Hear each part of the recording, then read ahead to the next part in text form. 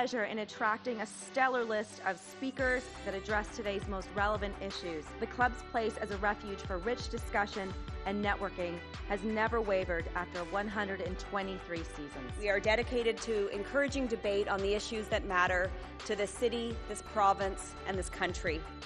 The Canadian Club is one of the most important podiums anywhere in the world that a Canadian can speak to, tell Canadians what it is that they think, develop those thoughts. And so I want to thank you for that very, very much. Please join me in thanking our esteemed panelists today. Through our programs and events, including our youth and young leaders programs, our diversity partnerships, our joint events, and our media and social media opportunities, we offer you access to dynamic political, social, and business figures from abroad and right here at home. The platform from which the eloquence of Canada has flowed all of that time, whether it be business, education, politics, sports, arts, and culture. If someone wants to say something to Canadians about this country and about the future of this country, this is the venue you choose.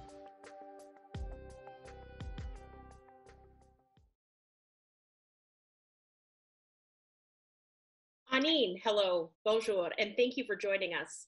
My name is Karen Restuhl, and I'm a director with Canadian Club Toronto. Although we're meeting virtually today, we recognize that Canadian Club Toronto sits in the territory of the Mississaugas of the Credit First Nation. We thank them, their ancestors, all those who have come before us, for caring for the land and water in a way that allows us to continue to gather here today. Miigwech, Nyawen. Merci à tous de vous être joints à nous pour la discussion aujourd'hui. Thank you to each of you for tuning in for today's discussion. Today, we're joined by a panel of experts to discuss challenges and opportunities with electric vehicles in Canada. Companies are innovating and infrastructure is being built. But are we seizing the opportunities to lead the world in vehicle and battery production? Will cities and regions embrace electrified transit? What does the future of EV look like in Canada? Now, before we hear from our panelists, here's some information on how you can participate with us. The click here to switch stream button helps if you find that your internet is slow. The video quality may decrease, but the audio quality should remain strong. Once you click the questions tab, you can enter your questions in the window and they will be sent to the moderator. The request help button located in the bottom right hand of the page is for technical support. The Canadian Club is a nonprofit, and we have been gathering people for over 124 years. And it is because of our sponsors that we can continue to do that. We thank today's event sponsors, Borden Ladner Gervais and Panasonic. We're grateful for your support for today's discussion. All right, let's get to it. Today, I have the pleasure of introducing our panelists.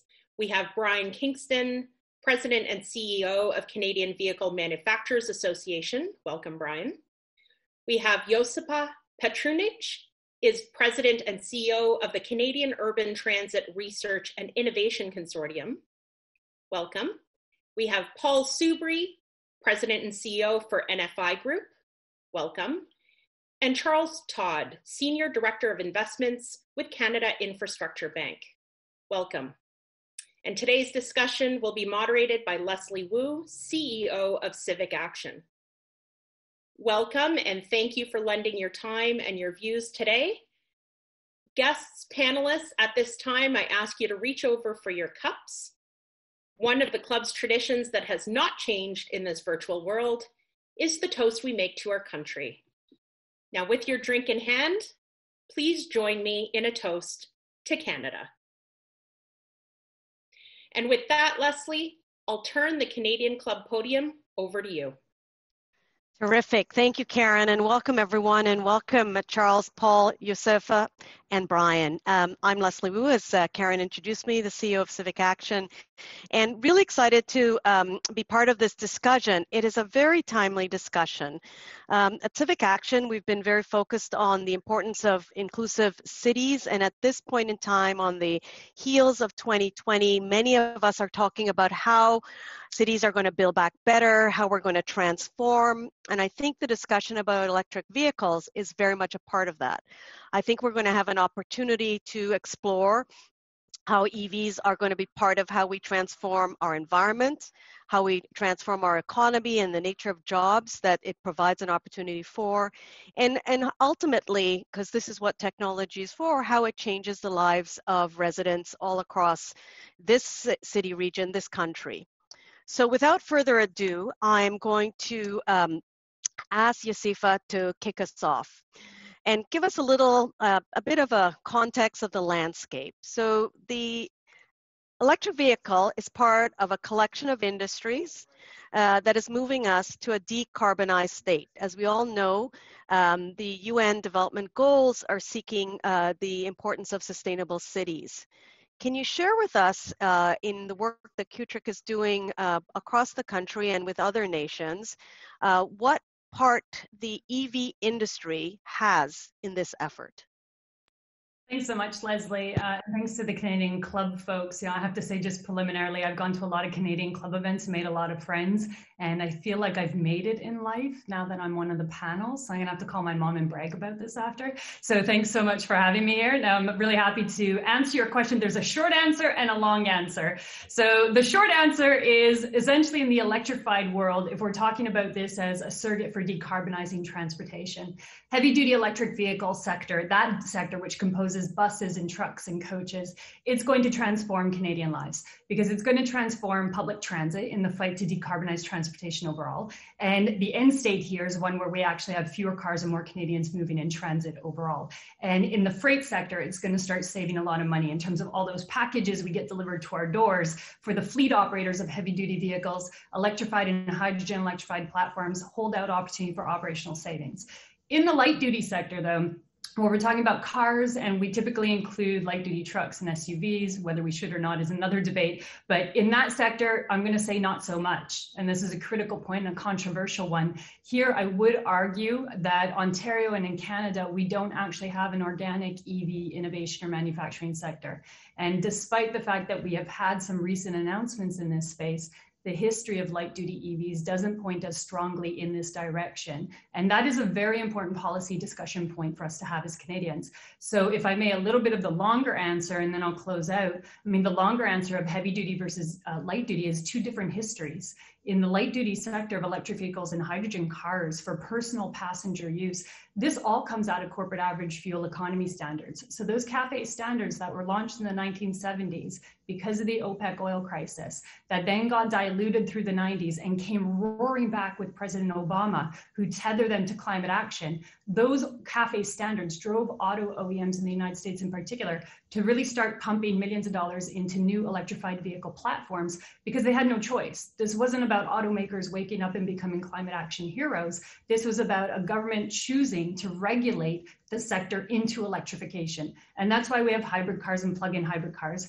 And the reality is today, even the announcements in Canada around Chrysler and Ford with recent EV manufacturing, that is a peripheral outcome of President Biden reigniting the CAFE standards and everybody recognizing by the laws of physics the only way to achieve his regulatory future for environmental climate action is to produce electrified vehicles. So Canada kind of missed the boat 10 years ago when Obama was investing in that sector in the Recovery Act. We weren't in our auto sector. So we're a little bit of a Johnny come lately. But on the heavy duty side, we have been making hybrid buses. We have been innovating electrified buses. We have been designing hydrogen fuel cell buses. Some of the component parts, like the Ballards and the Hydrogenics of the world, have been in Canada for 20 to 30 years. And we know public transit is not going anywhere. It's ripping and roaring, ready to go, in particular with Minister McKenna's recent announcements. And we know that city councils across the country are declaring climate actions and declaring that their transit fleet, being one of the dirtiest parts of city operations, are going to go to zero emissions by 2040, 2050.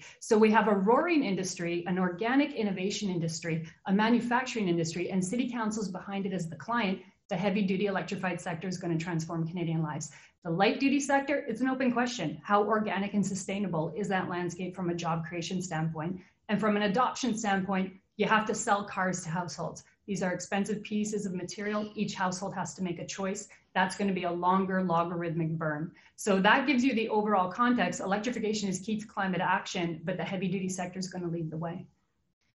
Thanks, Josipa. I mean, it seems a bit ironic that the average person, when we use the word electric vehicle, their actually vision of it is not necessarily an electric bus. It's a, it's a Tesla car or anything in that space, and, and generally they see it as somewhat unattainable to the average person. So I think it's interesting question. Uh, I'd invite Charles or Paul or Brian to kind of uh, further uh, uh, comment on this notion of the state of the industry uh, relative to uh, its ability to really address what the, the, decarbonization or improve our GHG emissions, uh, et cetera, and really the environmental consciousness of a country, how it's linked uh, to this industry. Anybody well, want to if, chime if in? I may, if I may, Leslie, Paul Soubry here. Please. Uh, really exciting times. I think Josipa has articulated very clearly and very well you know, our company, we've been around since 1930. We've always tried to be the leaders, whether it was diesels uh, moving from gasoline to then hybrid electric to natural gas and so forth. The journey to zero emission is not if in our world, it's when. And quite honestly, we're well on that path. What we have in Canada is really special. We do have, uh, in many cases, natural or, or renewable energy sources we do have industry that has capability, whether it's us as a manufacturer or component manufacturers that, that uh, as Yusuf uh, described, that, that build some of those key components. We now have a federal government that has actually put not only their words, but economics around trying to help the Canadian environment transition. And so, from our perspective, it's a really exciting convergence of a bunch of stuff. You have the, the, the desire and interest to put zero emission vehicles on the road, first of all. You have a, a way more uh, personal, government, political, economic consciousness around the environmental emission dynamic. You, you take that back down into the into the chain and you think about reskilling a whole bunch of people from building a conventional vehicle to now as a zero emission vehicle, which then goes forward to, to servicing and supporting and telematics and all these other things. And so, look, we're really excited about where we are and about the future. Canada has lagged on adoption of a lot of this stuff, uh, but the table is set now. And, and what you'll hear from Brian and the others, the, the desire not only to have the federal government put their words behind it, but funding at a support level, as well as funding associated with uh, infrastructure or, or EV financing, really sets the stage for a pretty exciting future for Canadians, both on the operational side as well as the environmental side. Charles or Brian, did you want to add before we move on to our next question? Sure. Yeah, a couple of uh, comments just from from the light duty perspective. Um, so, you know, over the past uh, six, seven months, there's been a lot of excitement in in the EV space, and we've seen now total investments uh, from General Motors, Stellantis, formerly uh, FCA, and Ford of 5.7 billion dollars right here in Canada and much of this is dedicated to building and assembling EVs. Uh, so this is good for a few reasons. First of all, the obvious economic uh, reason. You know, we're in in the midst of an economic downturn like we've never seen before. If you looked at the GDP numbers uh, that came out yesterday, biggest contraction in 2020 on record. Uh, so to see the auto industry stepping up and investing in this climate, I think is really powerful. It, it's I think the auto sector can help drive the the recovery from COVID and from the associated economic downturn. Also, and very importantly, it gives Canada a foothold in this transition to EVs. We know that adoption rates are low right now, and I'll get into that in a little bit. Uh, but now Canada is a player in that space. We're going to be building these vehicles here, and I think there's real potential to grow off that. It's going to have uh, you know, assembly itself, these new investments are going to create 3,700 direct jobs. But the amazing thing about the auto industry is the multiplier effect. So we're going to be seeing tens of thousands of jobs throughout the supply chain, auto parts, and associated economic impacts. So I think it's really exciting time uh, for the sector. I would just note that EVs alone won't help us meet our zero emission uh, targets. It's a key point and piece of it, but we also have to look more holistically at what the solution is. And to Josipa's point, um, you know, alignment with the U.S. is critical. It's always been critical to the Canadian auto sector. Now that we have a U.S. administration that has made very clear commitments on EVs and emissions, uh, more to come on that, but we'll see that roll out over the next few months. For Canada to align with that administration will be very important. And then we also have to look at the overall fleet. We have a large vehicle fleet, and scrapping older vehicles that are on the road that have high uh, emissions will be a critical piece of this. So it's a holistic approach to getting to those those net zero targets. Terrific. Thanks, Brian. And actually, it's a good se- segue to my uh, next question, which I'm going to direct to Charles, because I think it's um, it's it, it, goes without saying that these uh, sort of gnarly problems, uh, climate change, etc. No one, uh, there's no silver bullet. No one, no one sector or organization can solve it by themselves, and so there's a lot of partnerships that are required. And in particular, I mean, we've everybody visualizes an automobile or a, a vehicle itself, but there is a degree infrastructure that has to accompany the effective um, use and, and running of an EV system across the country. Charles, um, when we speak uh, about sustainability goals, we speak about the need for all sectors to play a part in the sustainable future that we all are, are aspiring to. Can you talk about how the Canada Infrastructure Bank and other public and private sectors are working together to advance the greening of the transportation industry? Absolutely, Leslie, and and thanks to the Canadian Club for having me. Um, the the CIB is supporting the acceleration of zero emissions buses uh, adoption right now. That's that's our our kind of short term goal in this sector, and we're doing that in three ways. We're providing low cost financing directly to bus operators to cover the capital cost difference between a diesel bus and a zero emissions bus. They are significantly more expensive, and, and this is a big issue with transit agencies and school bus operators across the country, especially uh, you know in the light of last year and the, the severe drop in ridership that all transit agencies have faced. The second thing we're doing is uh, we're we're taking the risk of the savings materializing over the life of these buses. So the the premise is that operationally zero emissions buses are going to be a lot less expensive to to run, and we think that there's sufficient uh, savings there to repay the financing that we're we're uh, offering. But that that financing is is a, a barrier to adoption by transit agencies because they're worried about the ability to repay over time. So we're explicitly taking the risk of those savings materializing. And if at the end of the day they don't materialize, that that is a cost for us and it's not a cost for the transit agency. The third thing we're doing, and this is a medium term objective, is getting private capital into this space. So right now, their private lenders are not interested in taking the risk of the savings. There's not a real track record out there in the long term, and it's it's too high risk for the for the level of financing that's required. We hope to build a portfolio, create that track record, and then crowd private sector capital into the sector. The CIB is also uh, investing in, in other ways in clean power, and and we're looking very closely at, at what we can do on the light duty side in, in the long term in terms of the infrastructure that's going to be required across the country. So we're excited about that as well.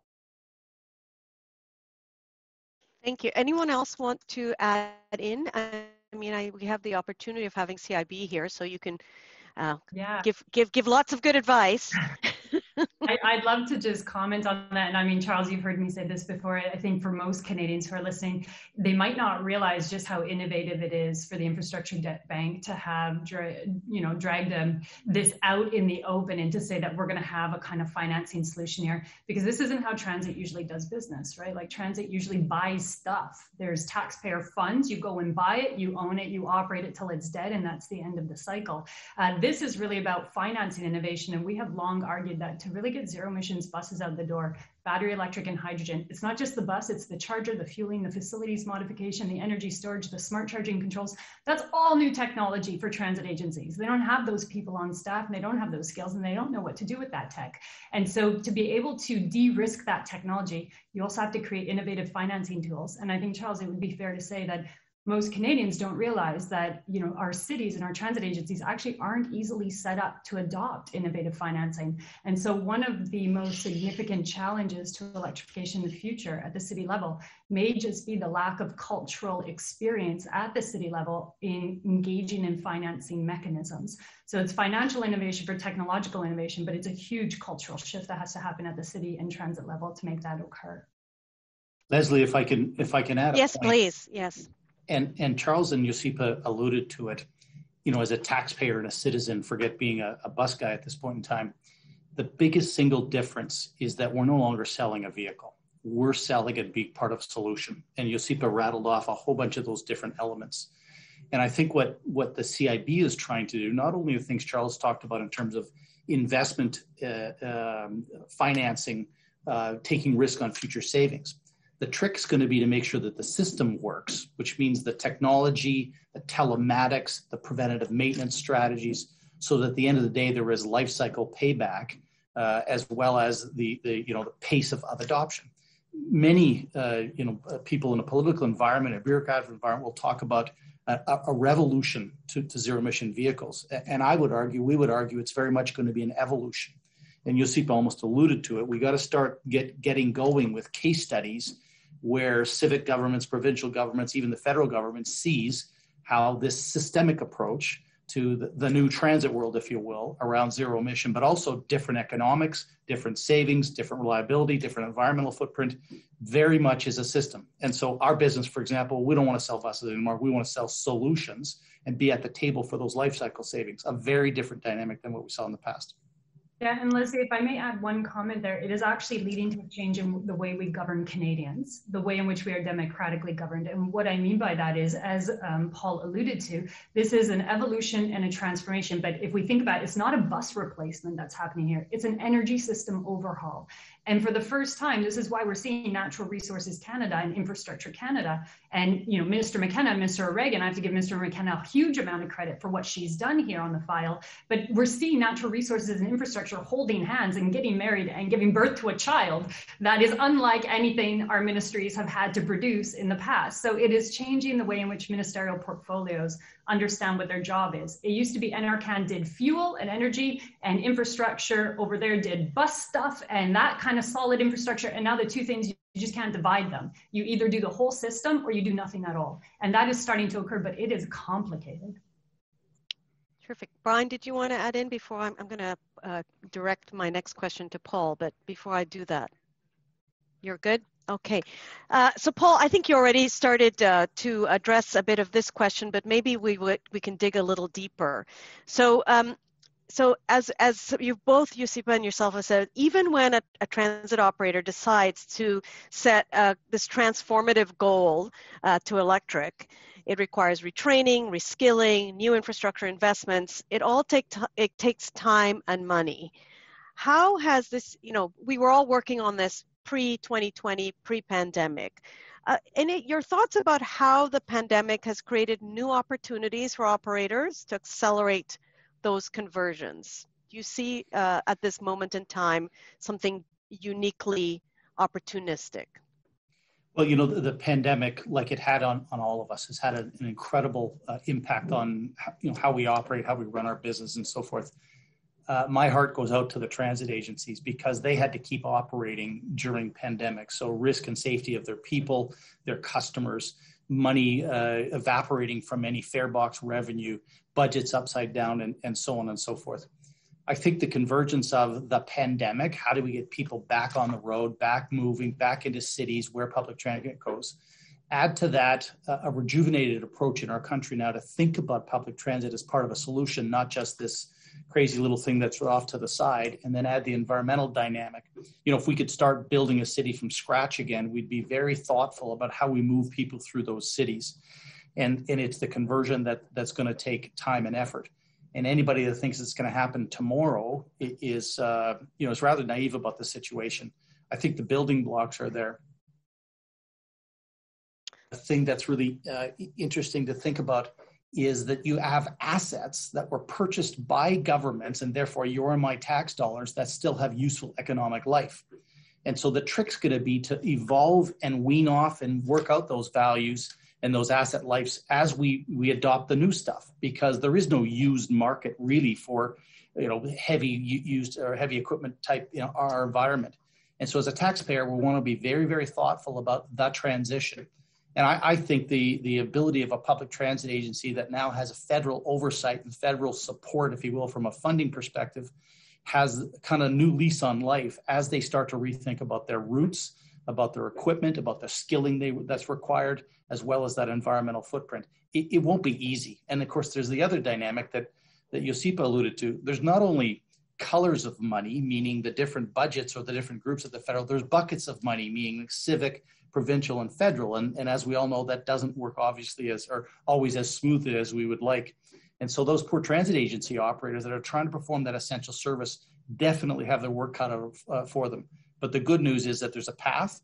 Uh, there's clarity now of, of, political support, economic support, uh, and, and there's that recovery dynamic that allows us to do it at a measured pace, which actually feels quite good as both a business person, but as a, as a taxpayer and a citizen.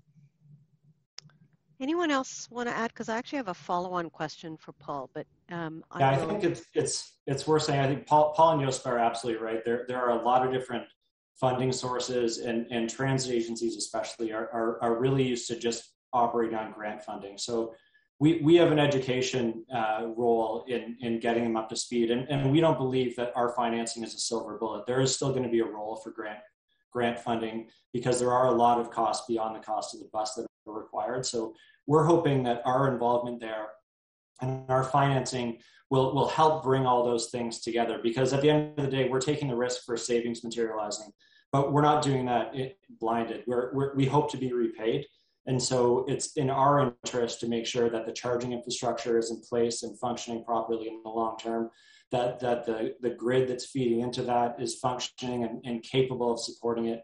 And, and this is all a lot of different levels of government, different arms of the federal government that, that needs to be brought together into the conversation at the same time.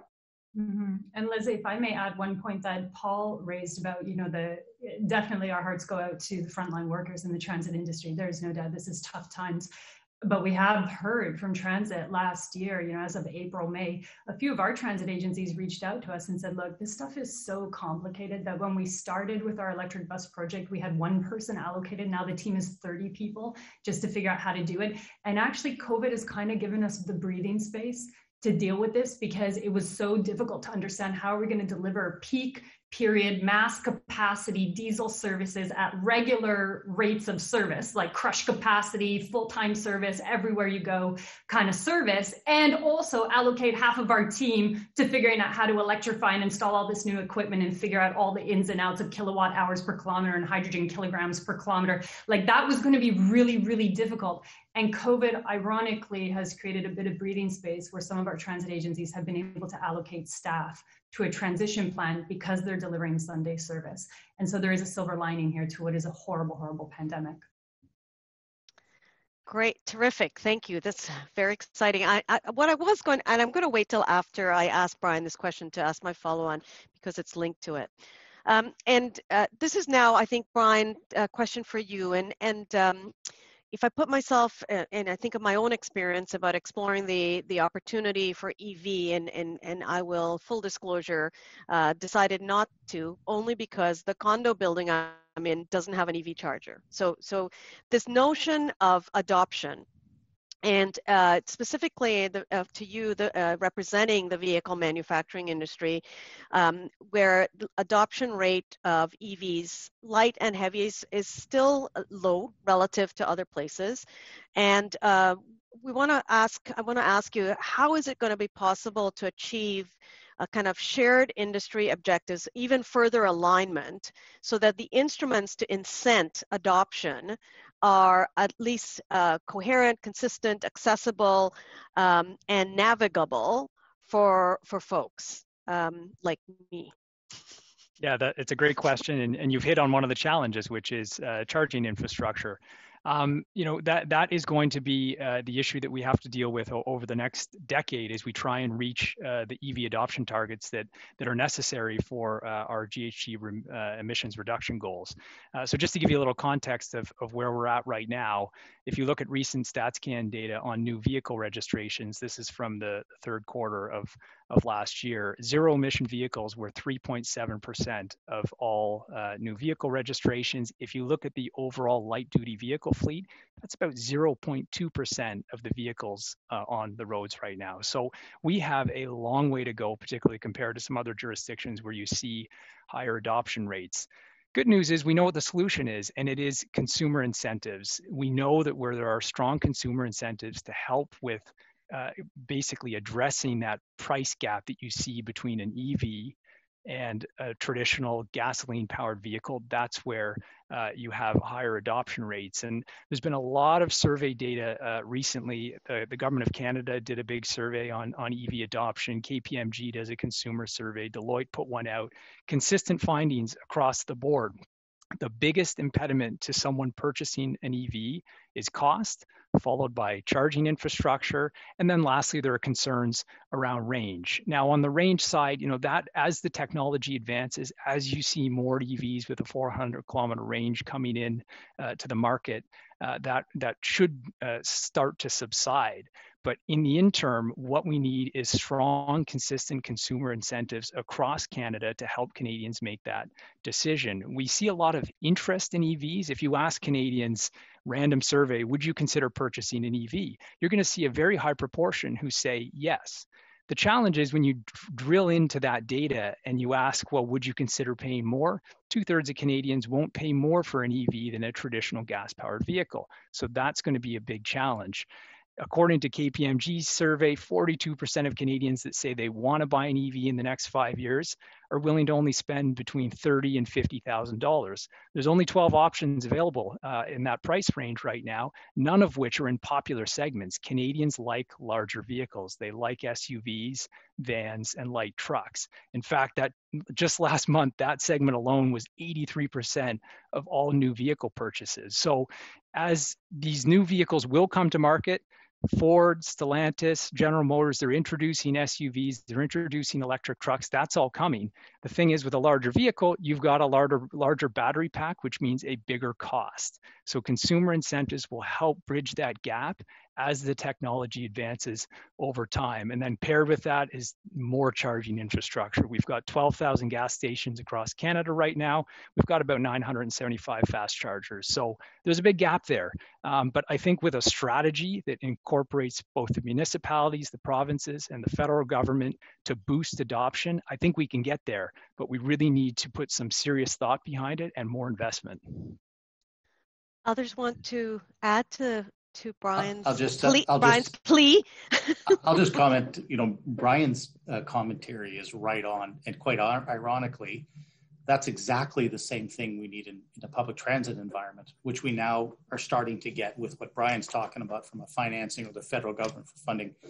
You know, a, a, a poor analogy, but we got to figure out how to prime the pump. Once the pump gets going, the thing will be almost a self fulfilling prophecy. But we got to get over the hurdle, which is a technology but B, it's mostly economics. And, and so what Brian just described is exactly the dilemma. And maybe as an industry, the, the, the buses in this case is a little bit further along, but it's the same dynamic. Mm. Leslie, if I may, and Brian, I'm going to jump in here with a little bit more controversial, like stick a pin in it a bit. And I think it's a worthwhile discussion to have because, hey, look, let's use a case study. Uh, if we're looking at EV incentives, it's tax dollars going out to buy a piece of property that's very expensive. You can buy a new car in Canada, you're already in a pretty good economic place, right? So, and I say this having drunk the Kool Aid. I owned a Nissan Leaf, I used an incentive, but I'm also a single woman who earns six figures, who lives in Toronto and doesn't have children by choice. Like, of global citizenry, I am privileged and perched. And I didn't need that $5,000 incentive. And a lot of EV owners didn't actually need it to buy it. So it just speaks to the privilege. And if we lived in a world of infinite resources, incentives would be great, like all the other stuff. But a time's going to come, and probably it's not too far off, when as taxpayers, we're going to have to decide are EV incentives really the right pathway forward to encourage people to get into electrified vehicles and then encourage them to get out of vehicles altogether? And I would proposition that as we're in this transformational stage, EV incentives have a certain amount of impact As you noted, Brian, it's still under 4% adoption, so it's clearly not a revolutionary impact so far. What might have more of a revolutionary impact is if we start to price roads. And if we started pricing roads and pricing kilometers and gave Mayor, For, uh, Mayor Tory what he wanted in Toronto, among other mayors, and then we said, hey, EVs get a free ride but if you ride anything other than EVs, you're going to have to pay 50 bucks, however many kilometers into Toronto or Montreal or Vancouver. That would drive a lot of people out of cars and a lot of people into electrification without necessarily having to incentivize as taxpayers the purchase of a diamond ring worth of an asset you know, and that is something I think we do need to recognize. There's only so much time clicking on the uh, on the clock of personal household incentives before a government's going to have to wake up and recognize where a dollar's best spent. And I just don't know that EV incentives are the right pathway forward for the next 10 years.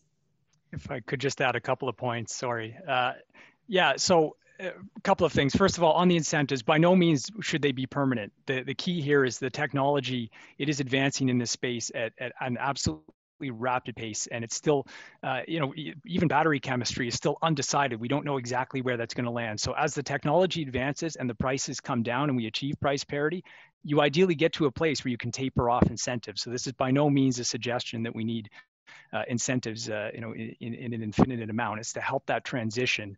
Uh, and and to your point on, you know, when I speak about consumer incentives, I'm primarily talking about addressing uh, the cost issue. But there's another element to this, which is really important to incentivizing people to consider an EV, and that this is more in the municipal space. Um, but you know, can you offer EV drivers things like free parking, access to high occupancy vehicle lanes? There are all kinds of different incentives that can really sweeten the deal for someone. So when you go to make that purchase, you'll see that there are all these other benefits. And we've seen that work in other jurisdictions. So I think consumer incentives on price are important for this transition, but there's a range of other programs that governments can provide. And that's why I really would like to see more coordination between the federal, provincial, and municipal governments because you can't do this in a vacuum. One government working on an EV strategy has to be talking to all other levels of government because all of those incentives are going to work together. Maybe I could just, because uh, uh, uh, we're starting to get in some uh, uh, questions and you're touching on some of the questions here and I'll try to kind of weave uh, this theme into two topics that came up in our questions. So in many respects, uh, with great respect to everybody, um, EV is a technology. It's not the it's not an end in itself it's a tool to something and at the beginning i talked about uh, the kinds of cities city regions we want to build and how what role evs should play in that. So it, it, it begs the question which is what we are you know we were just talking about on the issue of access and affordability. Um, and uh, in many respects as Josipa says car ownership vehicle ownership is one aspect uh, or barrier, depending on who you are, uh, to jobs. Uh, public transit creates more opportunity in terms of where you direct your investments, and so incentives that are uh, and supports for public transit um, uh, in the conversion and transformation that Paul talked about is important. Let's can we spend a little time because there are people trying to understand. Um, how uh, they can uh, the, the mindset of this tesla you know super luxury vehicle as what represents what, what people see as the ev the transformation and evolution that we need to get to to the understanding that evs can actually be uh, for everyone uh, that it's not uh, uh in in the sense of the type of mobility choices and the range of mobility choices, uh, car share, ride share, public transit, like the whole gamut. Uh, uh, let's let's can we spend a little time uh, because folks want to understand uh, to build on what Brian's question. What more should we be thinking about in this ecosystem that EVs is uh, in some places nascent and some places has been trying, you know, uh, doing the good good fight for quite a while. That's a long question yeah, maybe I'll jump in on the first piece, and I'm sure Brian, you have a couple comments there as well. But if we're thinking about decarbonizing transportation, again, back to square one, what do we have to do? We got to get people out of single passenger cars, whatever the powertrain is. We got to move a lot of people over a lot of distance quickly, efficiency, efficiently with low carbon. How are we going to do that in Canada with the distances we have and the weather patterns we have? There are only a few solutions. We got to get people into first mile, last mile, or first kilometer, last kilometer solutions. And those could include small electrified vehicles, small autonomous shuttles that get you to a transit hub. And then it has to include rapid transit ways, rapid buses, streetcars, subway, and rail. There is no other way for Canadians not only to meet our climate action, but actually to live a good quality of life without killing ourselves through the emissions we pollute. So the reality is it's going to be a multimodal solution. And within that multimodal solution, we already see some pilots across Canada. Loads of transit agencies are, are testing out on-demand transit, right? And so what you have is not an empty 40-foot diesel bus running around. You have an on-demand little shuttle that comes to your door in, in the equivalent of an Uber app, but you happen to be sharing the ride with a few other people who happen to be on a similar route pathway that the city transit agency is delivering. So there's all these innovative things coming out and transit is at the forefront of integrating that and electrified cars as a platform have a place there. We have a lot of transit agencies that are asking about small shuttles, small vehicles, first kilometer, last kilometer solutions, and they have small light duty cars in their own fleet. So multimodal solution, got to get Canadians from their houses to their endpoint in a way that is faster, cheaper, more efficient than their cars could ever be. And that means all the incentives Brian pointed out, as well as all the technology investments into first kilometer, last kilometer shuttles, autonomy, connectivity, and rail. Leslie, if I can, I'll just kind of build on that to some extent. Anybody that lives in a big city uh, knows what congestion means and traffic. And so I've been in this business 12 years. And when I first joined, uh, I was told you're going out of business because uh, light rail is going to kill you, A. And then B, you're going to have electric vehicles going everywhere. And, you know, the advent of Uber and Lyft and all these other people and the other t- type of operators there is no way that you're going to make a city efficient without a very efficient mass transit solution, whatever that might be. And yes, we're, we're coming through this pandemic, and yes, the load factors on buses are, you know, 40, 50, 60% of what they should, and so on and so forth. But I, I would venture to bet that uh, when we are two years from now, and we've not only had herd immunity, but vaccinations and so forth, we're going to be 80, 90% of what we were pre COVID of people moving either in cities or across cities. And there is no, whether we EV them or not, or zero emission the vehicles or not, there is no way we could run efficient cities from a time and a congestion perspective without pretty efficient mass transit type solutions, which is why I think we're in a sweet spot from a bus perspective. The, the other dynamic about light rail, and anybody who lives in Toronto, I don't, but knows the dynamics of, hey, we'll extend this subway line. It'll only cost us X billions. Well, it's now 10 years later, and it's X times 3 billion and so, with the concept of bus rapid transit or dedicated roadways, and now electrification, you've got this whole efficiency game. And I, you know, I was misled for years. I thought when they started talking about bus rapid transit, I thought it meant bus reliable transit because people want to plan their days. And the uncertainty of traffic and so forth causes, hey, I think I'm going to take me 20 minutes for that route, but it's actually 30 or it's whatever. I think there's just continued to be this really exciting opportunity in the Canadian environment around how to use mass zero emission mass transit to play a really key role. And as Josipa talked, which I totally agree with, integrated system of first mile, last mile with uh, strong tubes, if you will, whether it's a rail or an electric bus moving people at high volume, is the only way we're going to attack congestions in cities, which means then the precious commodity we'll never get back of time can be managed way more efficiently. The other dynamic is that not everybody can afford an electric vehicle, or quite honestly, not everybody can afford to go in an Uber from one end of Toronto to the other end of Toronto, which is why lower cost, efficient public transit is absolutely the key to efficient green cities going forward. Thank you. Um, so, a couple oh, of points. Oh, go ahead, Brian. If I could just quickly, um, just just two things on uh, around the affordability uh, piece and, and what we're seeing in, in the sector. Um, you know, first of all, there's a huge amount of investment going into, and we haven't really addressed this in in, in this discussion yet, but autonomous vehicles, uh, and you're seeing that from auto manufacturers, and and there's a lot of work being done uh, with uh, municipal uh, transit authorities in that area. So I think over the next little while, we're going to see a range of new autonomous vehicles that can be used for ride sharing, uh, and in many instances, they will be electric.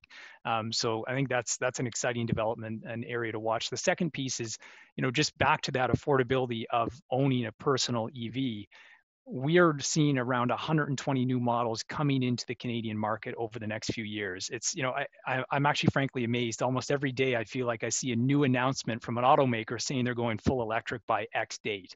Um, so you're going to see a lot of variability. Yes, for the larger vehicles, because of the battery cost, there's still going to be a, a pretty big price tag. But over this decade, as the technology advances, consumers should have access to a much broader range of EVs. So the first thing that comes to mind be the $130,000 Tesla. There will be other options there for consumers. But again, it underlines the need for uh, incentives as we work through that transition. Thanks, hey, Brian. So, sorry, Leslie, can I just toss in one other thing? I, I really like what Brian's talking about in terms of the autonomous element. The downside of the problem, a couple weeks ago, we introduced our very first fully autonomous level four uh, transit bus. The problem is if you only have one or 2% of the population of vehicles on the road that are autonomous, the system is so substandard. So I totally agree that 50 years from now, when the vast majority is autonomous and talking to each other, that that system will move efficiently. The problem is getting from here to there. And that, that unfortunately is going to take time. But boy, oh boy, if we could ever imagine a perfect scenario where the vehicles, whether regardless of whether they're cars or buses or whatever, all talking to each other and all aware of their surroundings, whether it's people or people on bikes and so forth. Holy smokes, they, to get from here to there is going to be a really rough ride, but boy, in the future, it's going to be really, really efficient. So uh, Leslie, may add to that. That's okay. Go ahead. Go ahead. We had this exact discussion, but it was about autonomous vehicles rather than electrified vehicles, even though likely to be electrified powertrains. I would say the exact same thing again, however, and building on what Brian and Paul said, but also kind of driving a wedge between a little bit. The reality is transit will lead the way in autonomous shuttles, but they're problematic. I mean, the federal government through Transport Canada funded millions of dollars in autonomous shuttle pilots across Canada, from Calgary to Surrey to Vancouver, now in Toronto, the latest one, Trois Rivières, and it hasn't led to a whole bunch of procurements of autonomous, light, low, uh, low speed, light duty electrified vehicles. And it's because somebody has to install the DSRC units, somebody has to install all the roadside infrastructure, somebody has to operate these digital robots on wheels, and the transit agency is not ready for it. So it's equally complicated. It's a whole system overhaul. And so we're back to square one again, in the sense that transit will lead the way on stuff, but it's complicated. Investment has to happen if we wait for individual passenger cars to lead the way, we're going to be waiting 100 years to address the climate. So it's the same kind of dialogue that crops up again and again. So I'm good. There's a recurring question coming in from the audience, uh, around, and many of you have touched on this, which is the issue of this, whatever the this is, policy, planning, incentives, training, research all needs to be better coordinated, higher levels of collaboration amongst different levels of government. So to you as the panel, um, we can talk about the need for it. What would like what's what's the next step? What you know, you had your dream scenario about figuring how we can get to a better place of collaboration. Uh, what would it next week what would happen. I think people are you know trying to understand we're saying it's going to be hard so but where do we start? Like i mean we've already started but where do we start on hmm. this journey of collaboration? Charles is looking like he wants to jump in. Yeah i think the, the reality is in, in canada we're, we're a little bit behind in transit. You know we, we are not we are not the most advanced. We're not taking advantage of, of the technologies that are out there and the new modes that are out there. And and part of that is intergovernmental cooperation and, and lesson sharing. And, you know, CUTRIC's playing a role in this, CUTA is playing a role in this. There, there are uh, associations out there that are trying to facilitate that. But at the end of the day, government needs to do a better job in, in coordinating its, its policy approach to these problems so, so that Transport Canada can you know, roll out a, a regulation and, and, and transit agencies at the municipal level can then adopt that and, and quickly implement it and and they and and and then pay for it at the end of the day and pay for it in, in the most efficient way possible. So I think it's an intergovernmental cooperation issue from a from a policy perspective and then from a practical implementation perspective that that needs to happen. But Charles, just uh, help me here. Uh, you know, we've seen uh, high degrees of collaboration happen during a pandemic re- relative to vaccinations. We've seen public health officers cooperating together you know, mostly. Um, in the in in the notion of what you're saying, what is missing uh, that it isn't happening? We know we need it. We've all said we want it on all these different dimensions is it that we don't have a burning platform what what is the you know no pun intended um, uh, Uh, what is it? yeah, you Elizabeth touched on earlier. The, the pandemic has actually provided some opportunity to, to transit agencies, provincial governments, and the federal government to, to take a step back and think about these things, have a little bit more space to think about them. So I think, you know, part of the issue is the the immediate needs that all of the transit agencies across the country, for the most part, are you know they're they're they're running on the edge.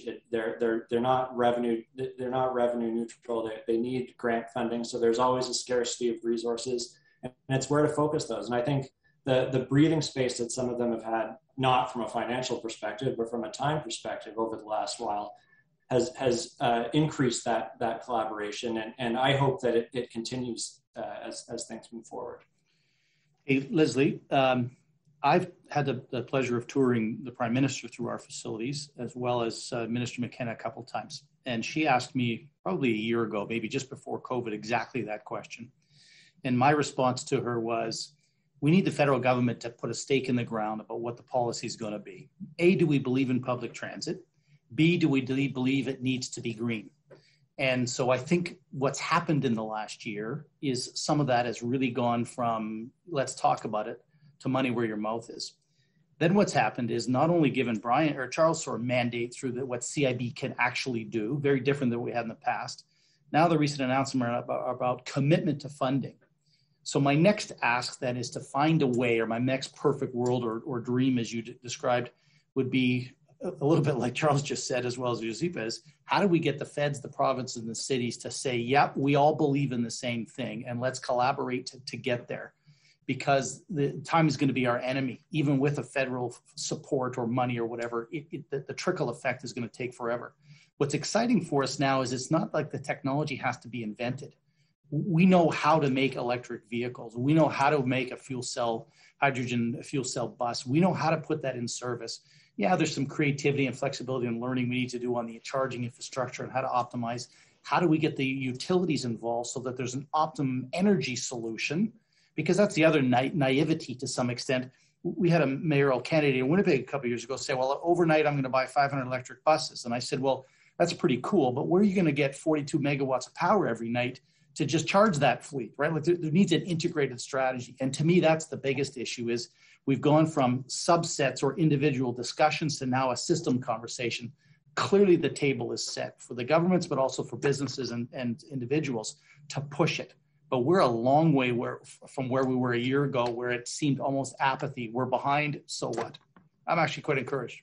Mm, and but if I can add to that though, Leslie, I mean, there's encouraging moves. There's no doubt. I mean, the Fed's just announced billions and millions of dollars for transit, unlike any investment previously. And I have to say, it's not by accident that it is Minister McKenna, a woman, with Minister Freeland as finance minister, a woman leading for the first major investment in public transit. Women care about transit because we use it to get around and live our lives and earn our income. I think that is not by accident something to highlight here. But having said that, money is only part of the equation. And building on what Paul said, and back to my point about reorganizing government, we have 10 provinces in this country. Not one of them has a transportation energy strategy that says by 2030, by 2040, this many Canadians will move by this much public mobility using this carbon intensity. We don't set targets. So we can throw money at this all we want and hope that the target emerges like a bouquet of flowers that we don't water. It's not going to happen. Uh, at the end of the day, we need transportation energy strategies provincially across the country, which would mean, again, getting ministries of transportation, ministries of energy, and ministries of economic development to hold hands and have some kind of hybrid child. It's never happened before. Our ministries are designed for the 20th century and we're living in the 21st with 21st century complexities. So folks, we're coming, yeah, close to the end, but uh, there is one, there are a couple of questions here that I think quickly, if I can get someone to respond. We've talked a lot about cities. There's a question here around rural agricultural industry and the role of EVs in that space. So areas, there's not public transit. Uh, um, the agricultural industry is a different different type, rural communities. Anyone want to uh, sort of jump in? Uh, Brian. Sure. Yeah. Um, it's a really, really important question, and it leads to you know the discussion that we were having earlier around infrastructure. It's one thing uh, to consider an EV when you live in an urban area. There's already some buildup uh, with charging. Uh, maybe you have a condo that that offers you the ability to charge in, in your parking lot The challenge is in rural communities um, where you, you don't have the density, so there may not be uh, the, the push to put in place uh, a charging uh, infrastructure unit there. That will be an issue. And, you know, Canada, we have 1.1 million kilometers of public roads. Um, and this is a challenge. When you look at, to a lot of Canadians' driving behaviors, you know, I think about myself. 90% of what I do is within 20 kilometers of my house. It's dropping the kids at school. It's getting groceries. These are small trips. I happen to have family that lives on Lake Huron, so twice a year I do a 1,500 kilometer round trip, and there's no infrastructure to charge a, an EV that will be a challenge. And in rural communities, uh, we're going to have to address that. We're going to have to build that infrastructure. And I think that relates to you know what Paul was saying around having an integrated strategy. Um, you know, this is a constant Canadian challenge in a range of policy issues where we have federal and provincial responsibilities, and sometimes there isn't a great deal of coordination. So, how do we get a coordinated approach on this, on infrastructure, on incentives to make sure that we help every community? Thanks, Brian. I squeezed that last little question in there because I know there are a number of the audience. So um, I know I'm going to turn it over to Karen, but I want to personally thank all of you for a really engaging and exciting conversation. Over to you, Karen. Thanks, Leslie. Uh, and thanks to our guests and panelists for uh, spending your lunch hour with us today.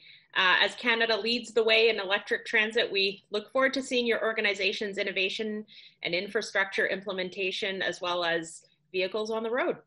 Uh, Brian, Josipa, uh, Paul, and Charles, thank you for joining us. Leslie, it was great to have you join us. And I always personally appreciate an active moderation style. It was an absolute pre- pleasure to, to be part of the conversation here and, and, and watch you as you weaved it all together. Expertly done. Thank you so much.